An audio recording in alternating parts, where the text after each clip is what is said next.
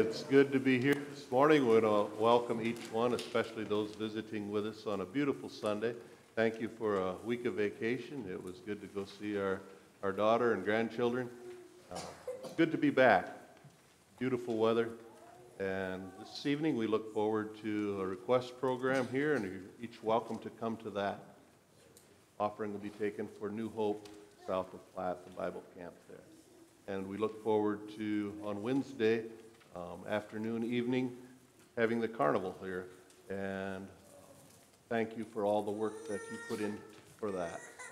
But it's good to be here to worship this morning. We want to remember Dal Kruger in our prayers. Um, he's going to be hospitalized tomorrow, having some tests in Parkston. In our prayers. For our call to worship this morning, we turn to Psalm 145. I will exalt you, my God the King. I will praise your name forever and ever.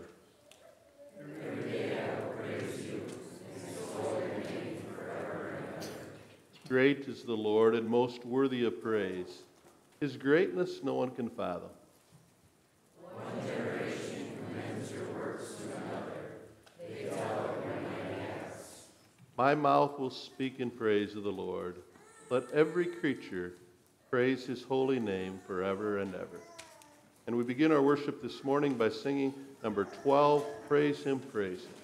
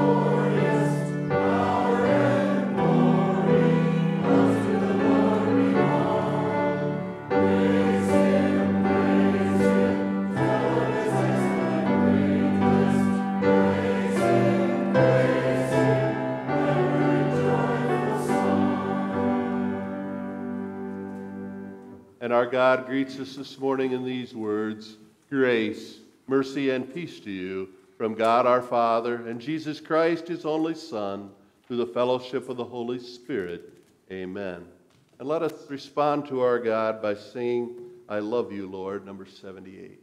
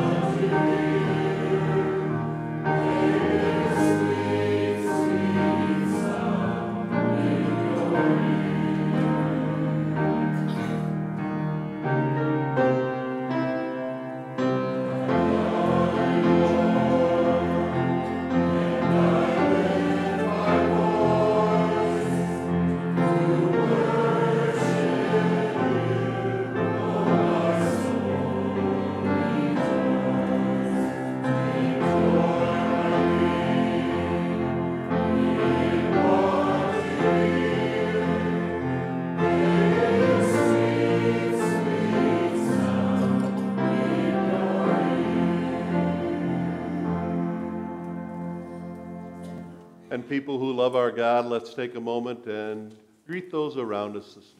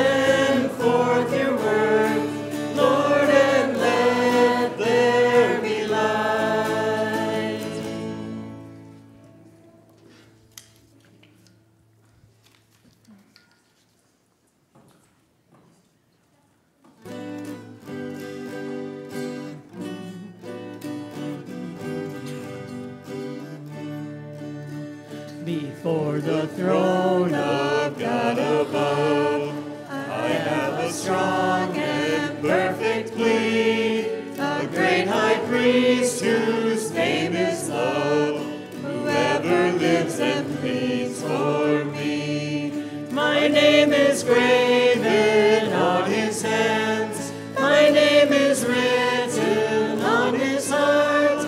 I know that while in heaven he stands, no tongue can bid me thence depart. No tongue can bid me thence depart. When Satan tempts me to despair and tells me of the yeah.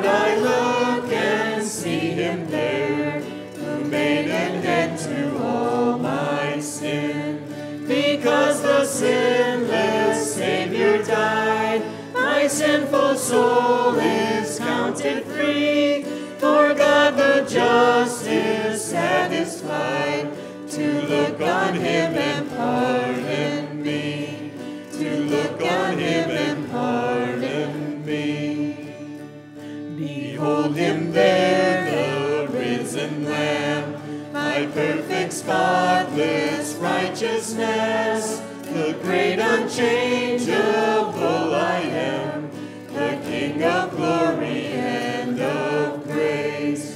One with himself I cannot die, my soul is purchased with his blood, my life is hid with Christ on high, with Christ my Savior my Savior and my God. I bow before the cross of Christ and marvel at this love divine. God's perfect Son was sacrificed to make me righteous in God's eyes. This river's depths I cannot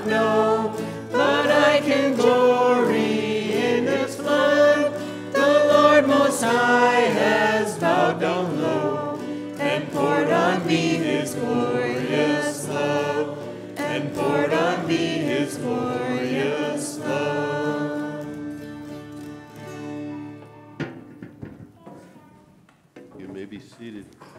And thank you for leading us in praise and worship to our God this morning.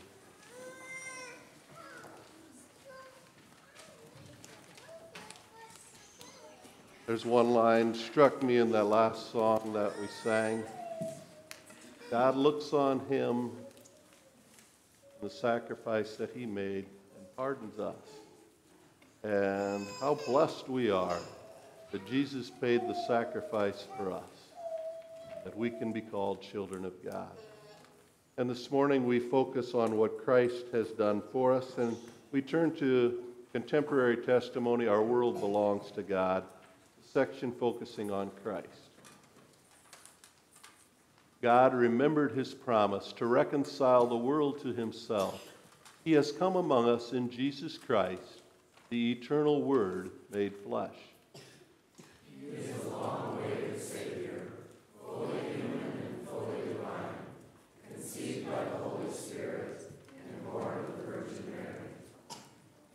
In the events of his earthly life, his temptations and suffering, his teaching and miracles, his battle with demons and talks with sinners.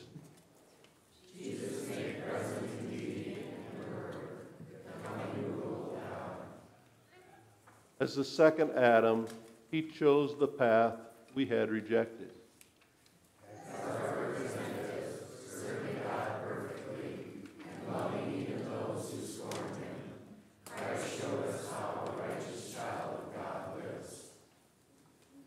As our substitute, he suffered all his years on earth, especially in the horrible torture of the cross. He carried God's judgment on our sins. His sacrifice removes our guilt. He walked out of the grave, the Lord of life. He conquered sin and death.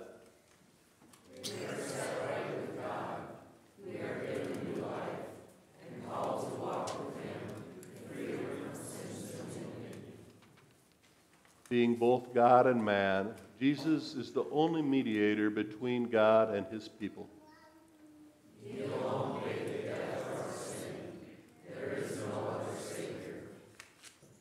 In him, the Father chose those whom he would save.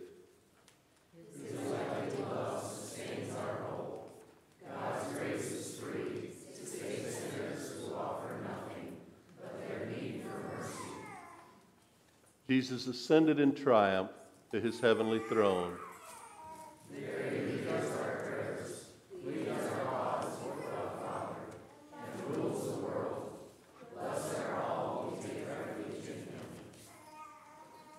And that's why we've come here this morning. To take refuge in our God. We don't take confidence in ourselves, but in what God has done for us in Jesus Christ. And sometimes we wonder how we should pray, and yet we know Jesus hears our prayers and presents them before the Father. So let us go this morning to our God in prayer. Our Father in heaven, we come unto you in this day, a day that you have made, a day in which we can rejoice and be glad. We thank you that we can come as your people to worship and praise you, and that you accept that praise because of what Jesus Christ did for us on the cross. We thank you that you hear our prayers because of what he's done for us. And Lord, we often take it so for granted. And Lord, we ask that you will be merciful to us and be gracious to us, that you hear our prayers and that you forgive our sins. Lord, we, we thank you for the privilege of being your people. And we pray for those who are not able to be with us this morning, for those who have special needs and concerns. And we ask, Lord, that you will bless them. Lord, we, we pray that you will especially be with Dal as he goes and is hospitalized tomorrow and has tests done. We pray that they may find what his difficulties are and that they may be able to treat him accordingly. Lord, we thank you for the gift of modern medicine. And yet, Lord, we know it is you who heals. And Lord, we know that each of us have a time in which we can live on this earth. And we thank you that because of your love shown to us in Jesus Christ, we have an eternity awaiting us. And Lord, help us to be people who focus on you and what you've done for us as we live our lives here, to be a blessing to those around us and to give praise to you. Lord, we thank you for this country in which we live. We thank you for the freedoms which we enjoy, and we ask that you will be with those who make decisions concerning our government, and we ask, Lord, that you will give them hearts that seek to do your will. And may each of us have hearts that seek to do your will. We pray that you will be with those who give their lives to protect this country, and we ask that you will watch over and protect them. And not them only, but we pray for all the nations of this world. We pray especially at this time for the nation of Israel and the conflict in which they are in. And we ask, Lord, that your will may be done there, and that lives may be spared, and that people may look to you. Lord, we pray that you will be with your missionaries as they carry your word in difficult places. And we pray that as your word goes out, that it may touch the lives of boys and girls, men and women, and that people might be drawn to you through this nation and around the world. Lord, we thank you for the gift of your word. We thank you for the gift of your spirit, which help us to understand it. And we ask this morning that as we look at your word, that you will speak to our hearts through it and that we may have a greater appreciation of what you've done for us in Jesus Christ. Lord, we pray that you will be with the children as they continue through school to the end of the year. We ask that you'll give them a desire to learn and give them an enthusiasm for that time in their life. We pray that you'll be with teachers too as they teach. And we ask, Lord, that the children might be blessed as they develop their gifts to use for you. Lord, we anticipate to a planting season. And we thank you, Lord, for the beautiful weather. We thank you for moisture. Thank you for sunshine. We thank you that we can know that you are in control. And as we approach this time, we ask, Lord, that you give us a sense of peace and also a desire to do the tasks that you've set before us to honor and glorify you. We ask now that you'll be with us as we continue to worship. We ask that you'll be with us in this week that lies ahead. We pray that you will be with the request program this evening, the carnival on Wednesday, and we ask, Lord, that you might be praised through those events as well, and that your people might be blessed. We ask this in Jesus' name. At this time, we ask the children to come forward for a children's message.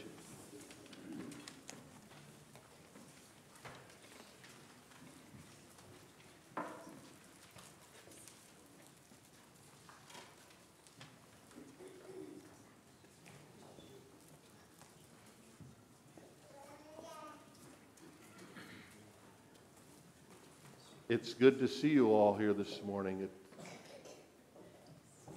looks like you're doing well and your, your parents take good care of you. They even train older brothers and sisters to take care of younger ones. That's good. Um, your moms and dads feed you every day? They do. Um, do you have a favorite food that you like? Some of you, what do you like? You like pizza. Um, anyone else have something that they like? Mac and cheese. What's that? What? Brats. Yes, brats, of course. Uh, why didn't I think of that? Anything else? Ice cream, yes. Cheese, yeah. There's lots of good foods. Any of you like Cheese brats, yeah. You're combining it, aren't you? Yeah. Do any of you like candy bars? Yeah, you like candy bars? Um, let's just say you really liked candy bars and wanted candy bars every day for every meal. Um, different kind of candy bars. Do you think your mom and dad would give that to you? Why not? It's not healthy. No, it's not. It wouldn't be good for you um, and your moms and dads want you to grow up healthy. So they give you healthy foods, they give you a variety of foods. And there's lots of good foods. And you think, especially when you're a baby, your moms and dads don't just give you candy all the time. They, first of all, give you milk, um, the most essential food for you at that time.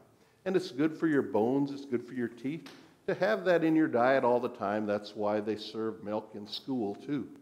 Um, and we think about our lives as we grow in knowledge. And there's a whole wealth of things that we can feed our brains on TV, on the internet, and there's books we can read. And it's good to fill our minds with good things. And we think of God's Word, and it's the most important thing. And so your moms and dads want you to learn God's word, and you learn that here um, at church. Um, you do me- memory verses, and you go to Sunday school and catechism to learn God's word for you so that you can grow in faith and knowledge of what's most important. And so this morning, I, I didn't bring candy for you, but I did meet some of your requests. I brought cheese made from milk, which is good for your good for your teeth, good for your bones. You are welcome. You're welcome.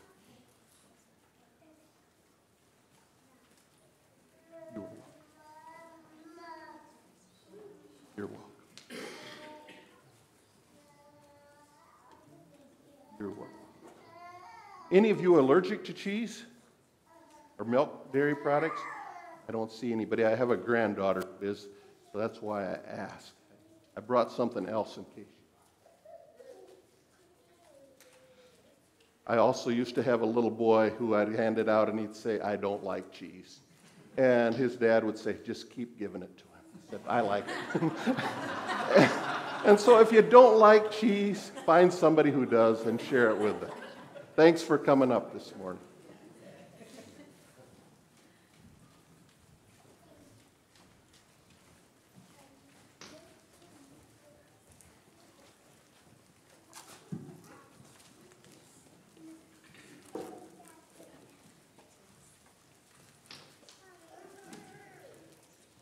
Our scripture this morning, we turn to the Gospel of John.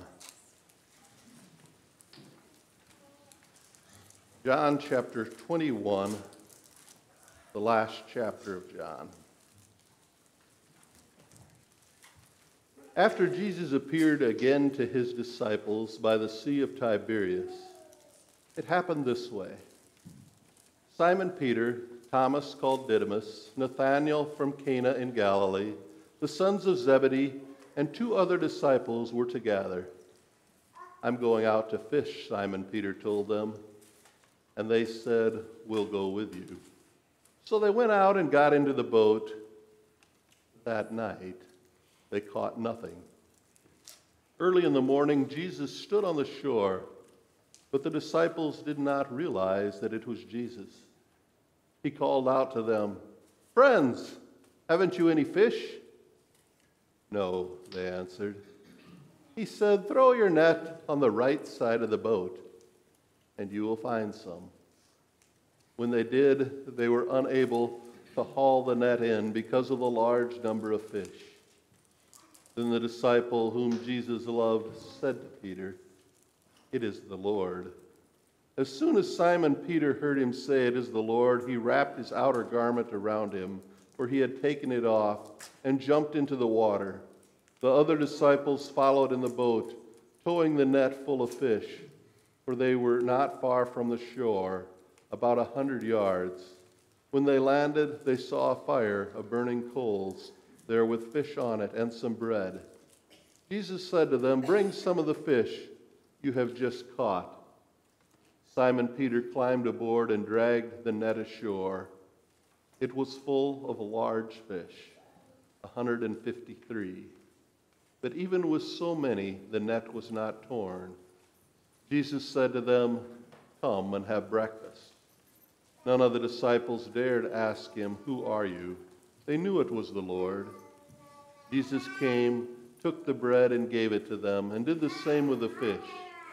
This was now the third time Jesus appeared to his disciples after he was raised from the dead. When they had finished eating, Jesus said to Simon Peter, Simon, son of John, do you truly love me more than these? Yes, Lord, he said. You know that I love you. Jesus said, Feed my lambs. Again, Jesus said, Simon, son of John, do you truly love me? He answered, Yes, Lord, you know that I love you. Jesus said, Take care of my sheep. The third time, he said to him, Simon, son of John, do you love me? Peter was hurt because Jesus asked him the third time, Do you love me? He said, Lord, you know all things. You know that I love you. Jesus said, Feed my sheep. I tell you the truth, when you were younger, you dressed yourself and went where you wanted. But when you are old, you will stretch out your hands, and someone else will dress you and lead you where you do not want to go. Jesus said this to indicate the kind of death by which Peter would glorify God. Then he said to him, Follow me. Peter turned and saw that the disciple whom Jesus loved was following them. This was the one who had leaned back against Jesus at the supper and had said, Lord, who is going to betray you? When Peter saw him, he asked, Lord, what about him? Jesus answered, If I want him to remain alive until I return, what is that to you? You must follow me. Because of this, the rumor spread among the brothers that this disciple would not die. But Jesus did not say that he would not die. He only said, If I want him to remain alive until I return, what is that to you? This is the disciple who testifies to these things and who wrote them down. We know that his testimony is true.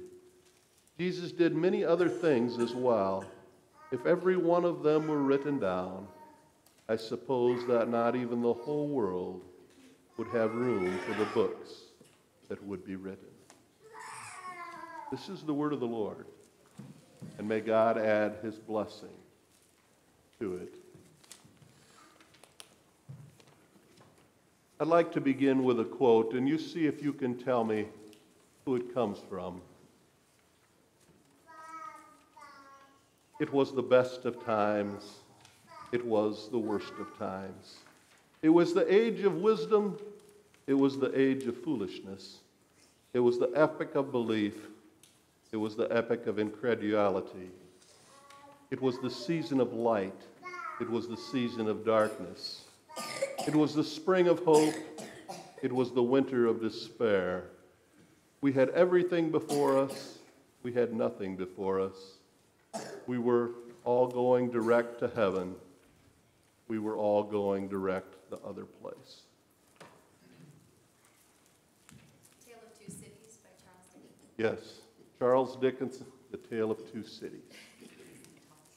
And Charles Dickens was known as being a literary genius. He was extremely smart. And his reflection on life is something that we can take to heart. We think about our lives. Think about the best time of your life when it was. If you would go, could go to a certain time of your life, what would it be? Some of us think of our childhood, and our childhood was so innocent.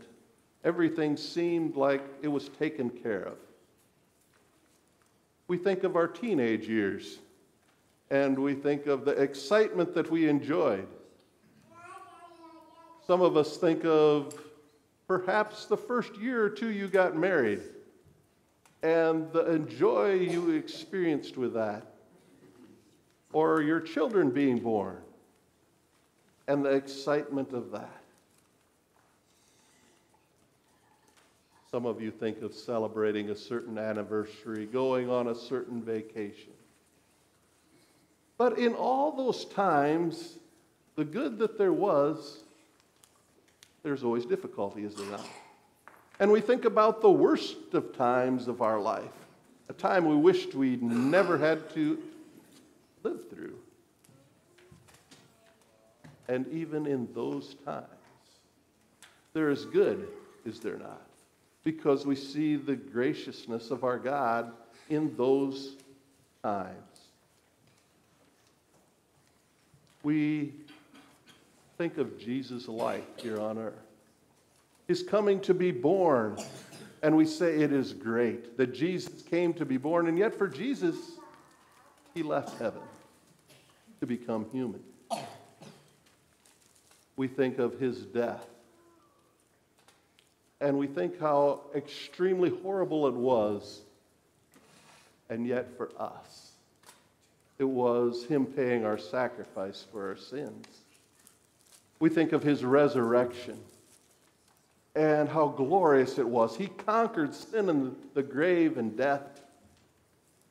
And yet, for some, for some, it leaves them empty for their lack of a relationship with Him. As we look at this passage in the Gospel of John, it's come to the end of Jesus' life. He's died, He's rose again. He's appeared a couple times to his disciples, and his disciples had been told to go to Galilee and he would meet them there. And for Peter, Peter, it had to seem kind of, oh. You know, he had been with Jesus three years, and it was great. He had seen him do these miracles, and he had walked on water himself. He had participated in the feeding of 5,000 people with just five loaves and two fishes. He had seen all the wonderful things Jesus had done, seen him raise Lazarus from the grave. And then Jesus says, I'm going to go and die, and you're all going to forsake me. And Peter says, Surely not I. Even if all the rest forsake you, I won't. When Jesus had asked, Who is who do people say I am? They said, Some say Elijah or one of the prophets. And he says, Who do you say I am? And Peter had said, You are the Christ, the Son of the living God. It was a high point for Peter. And yet, right after that, when Jesus talks of going to the cross, Peter says, Never.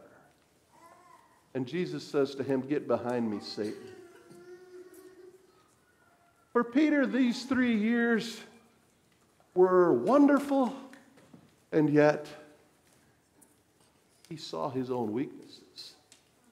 And when he denied Jesus three times, he went out and he wept bitterly. Because he never thought he could do that. The one who was his Savior. And now, after Jesus had risen, they're waiting to see him and Peter becomes a little restless. And he thinks about how three years before he had been a fisherman. He enjoyed fishing, and he had been called from that work to be a fisher of men. And he missed it a bit. And he says, I'm going to go fishing. And the other disciple says, We'll go with you. And sometimes it's good. It's good to go and relax a bit to do something you enjoy, you can focus a little better after you do that. Peter and the other disciples go fishing. And they fish all night. They give it their best. Catch nothing. Kind of frustrating, isn't it? When you give it your best and seems like there's nothing there. You farm all year, no crop, low prices. You work hard at a job only to have the job taken away. You're laid off, the business goes closed. And there's that sense of disappointment. And for Peter and the other disciples, fishing all night and catching nothing was a bit of a disappointment. And then there's a stranger standing on the shore, and he calls to them, How'd you do? You catch any fish? No, we didn't catch nothing. We didn't catch anything. And he says to them, Put your net on the other side of the boat. Put your net on the right side of the boat, and you'll catch fish. How do you feel when somebody says that to you? How'd you do? How'd your corn do this year? How did your cattle do? Did you make any money? Sometimes we do, sometimes no. Well, you should plant this kind of seed. You should feed them this. You should do things different. And then things will go better for you. And the disciples had to think put our net on the other side of the boat not that far away. But what did they have to lose? They put their net on the other side of the boat, and it becomes. See, it wasn't so much that the net moved, but they listened to Jesus, and Jesus filled the net. And we do well to listen to Jesus and his word to us the lives He calls us to live, the people He calls us to be. Because we can live life in the busyness of it and find no joy and satisfaction in living. And yet, when we know what Jesus is calling us to do and we follow that path, we can have joy even in difficulty. Catching a net full of fish seemed great, and yet it's work. They were almost unable to haul them in. Getting a good crop seems great, and yet it's work. I remember years ago, we had a hailstorm come through, and it wiped out all our small grain ready to be harvested. A neighbor, Alvin Gruneweg, looked at it on the bright side. He said, Look at it this way. He said, When everybody else is out there harvesting that dusty oats, we can go fishing. and we think of our lives. And they're gifts to us from God, are they not? And whether we're working hard or playing, we should see it as a gift from God, an opportunity to give Him thanks for what He's done for us. And yet we realize all that we have is a gift from God. And John, when the net is full of fish, he right away realizes it's the Lord. Only Jesus could have done this for them. And he says it's the Lord, and Peter right away is excited, puts on his robe, which he had taken off, and he dives into the water and swims about 100 yards to shore and greets Jesus while the rest of them come behind in the boat with the fish. And Jesus is making breakfast for them. And it had to seem like this is really good. We're back to the good old days again. Jesus is with us, and he's serving us food. And they had to feel really good about themselves. Jesus came back to them. And all was good until Jesus started talking. Talking particularly to Peter.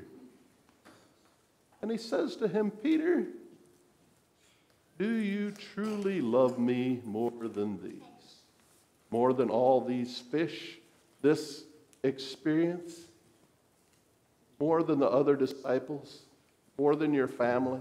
Do you love me more than the rest of life? And Peter says to him, Lord, you know that I love you. Jesus says to him, Take care of my sheep. Amazingly, Peter had denied Jesus three times. And Jesus was calling Peter back to be the leader of the church. He calls sinners such as us to repentance. He calls us to serve him. He uses us. But Jesus repeats it to Peter just a bit differently. And he says, Simon, son of John, do you love me? An agape love. You love me with everything. Yes, Jesus, you know that I love you, Peter replies. And Jesus says, Feed my sheep. And again, Jesus repeats it to him. Simon, son of John, do you love me? Not truly love me, but do you love me? It's a phileo type of love, a brotherly type of love. Do you even do that, Peter? And Peter is frustrated because he realizes he's just been asked three times Do you love Jesus? He reminded that he denied him. And he says, Lord, you know all things. You know that I love you. After all, I went with you for three years. I spent three years of my life with you. You know that I love you. And Jesus says to him, Take care of my lambs. Take care of the church. Take care of people following me. And see, it's easy for us to focus on ourselves, is it not? it's easy for us to take confidence in who we are. And yet, our only confidence is in who Christ is and who He calls us to be. And He calls us to be His followers. And He calls us to take care of His sheep, to feed His sheep, the people of this world. Do we love Jesus? Then we want to teach our children to love Jesus. We want to teach them that their identity is in that Jesus loves them. And so we teach them from a very young age Jesus loves me, this I know, for the Bible tells me so. We find our confidence in knowing that Jesus loves us. He loves us so much, He came to this world to suffer and die for us, that we can be part of the family of God for all eternity. He calls us to be people who find our identity in the love of Christ. And having experienced that love, we live life in that joy. Whether we're working hard at some menial task, which we wished we didn't have to do,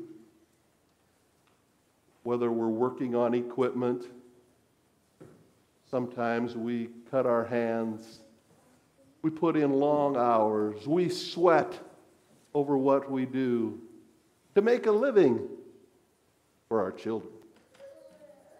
We have the joy of doing work, whether it be menial tasks or whether it be something we find total joy in, some glorious thing. We do it serving Jesus, who came to serve us. And yet, sometimes it's easy for us to look around, is it not? Jesus told Peter, I tell you the truth. You used to do what you wanted to do. You were in charge.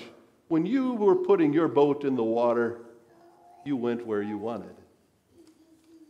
But now you're going to get in my boat, and people are going to take you where you don't want to go. And you're going to end up dying like I did, being crucified on a cross. You denied me when I went to the cross. You will proclaim me when you die a death serving me. And Peter was willing to do that. But he looks, and John is following him.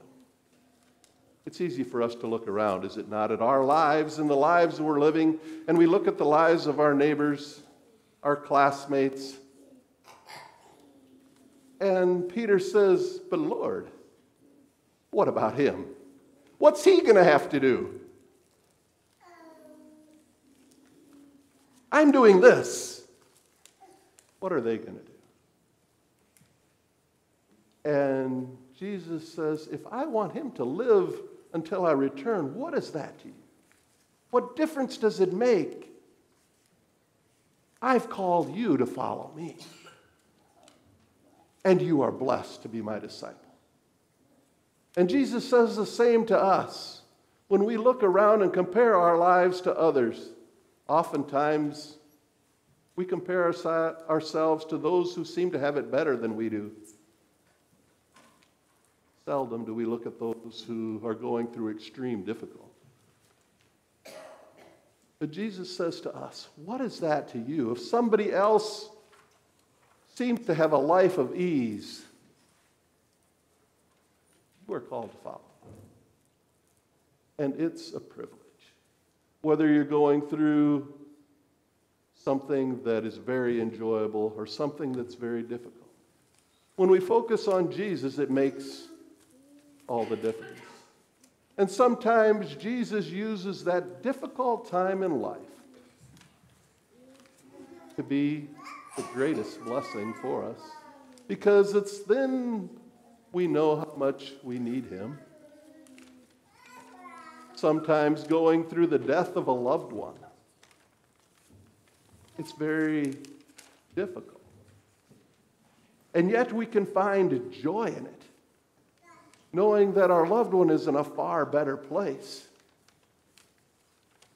I remember a number of years ago visiting with a lady whose husband was in the nursing home and he was on his last days.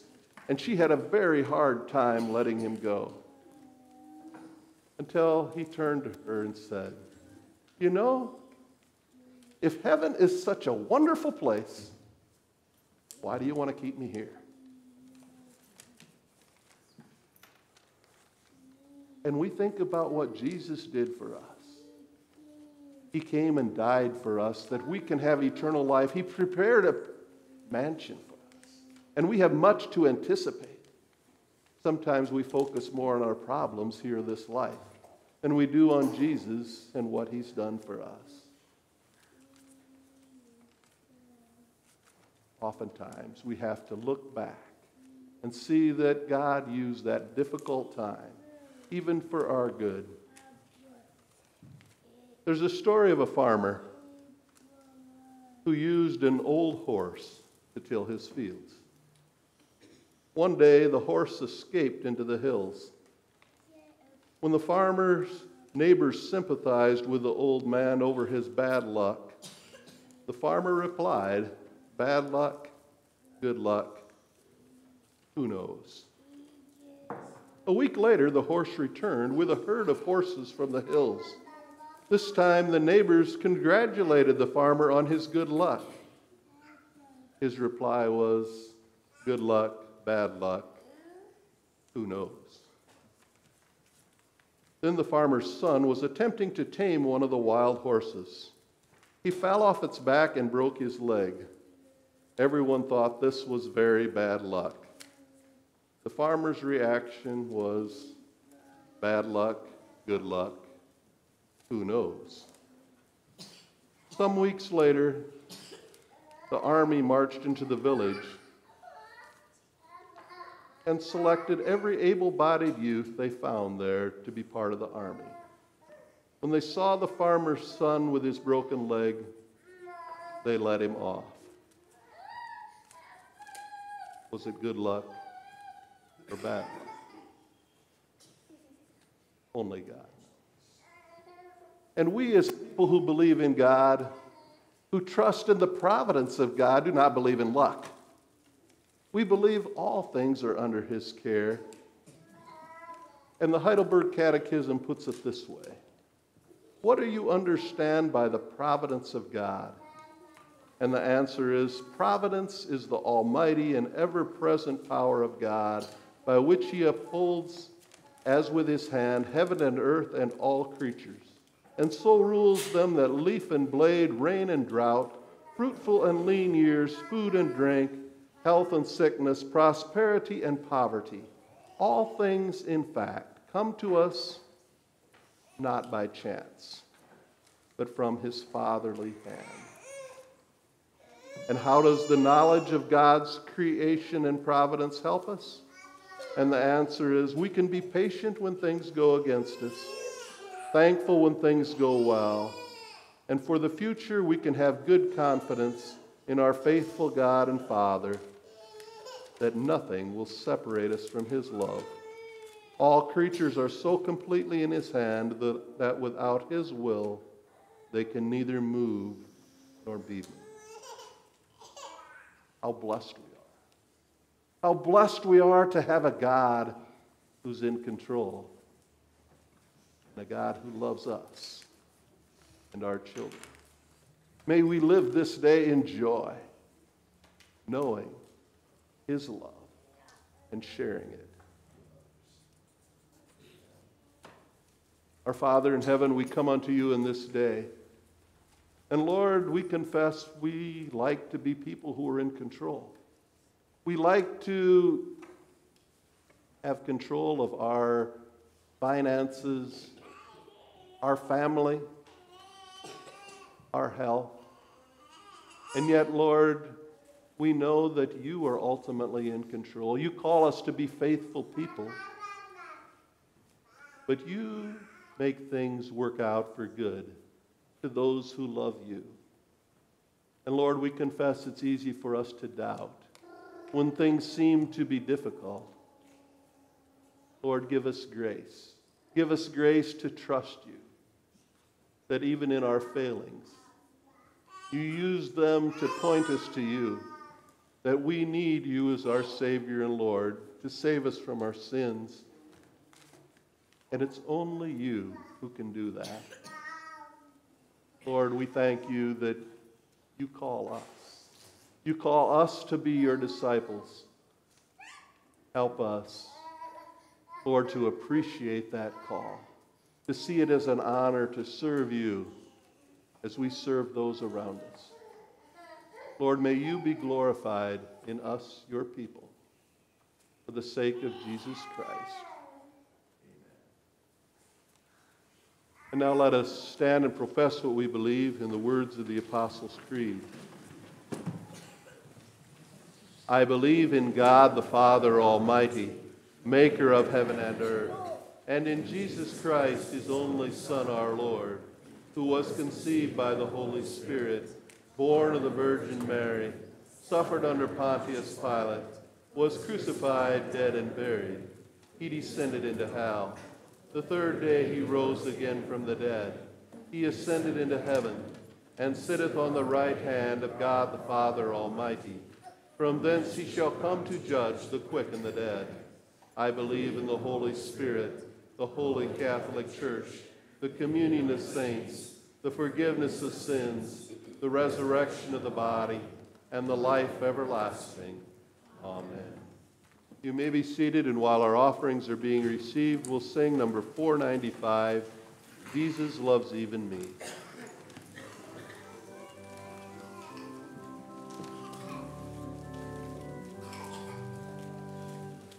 I am so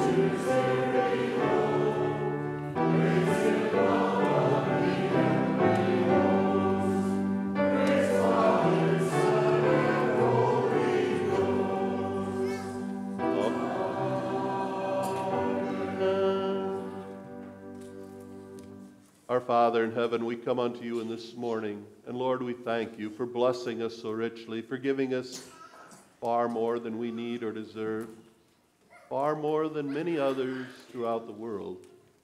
And Lord, we thank you for an opportunity to give back a portion of what you've entrusted to our care. And we ask that you will multiply it, that you will use it for the furtherance of your kingdom, that you will use it to feed your sheep your children, your people you've called to follow you. And Lord, may you be glorified through what we give. We ask this in Jesus' name. Amen.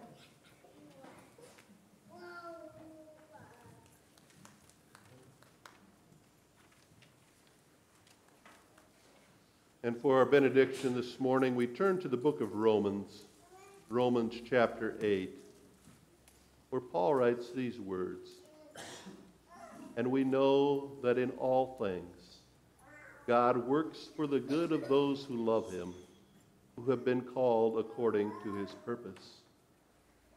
Who shall separate us from the love of Christ? Shall trouble or hardship or persecution or famine or nakedness or danger or sword? No, in all these things we are more than conquerors through him who loved us. And may the Lord bless you and keep you. The Lord make his face shine upon you and be gracious to you. May the Lord turn his face toward you and give you his peace. Amen. For our closing song this morning, we sing number 92, Oh How I Love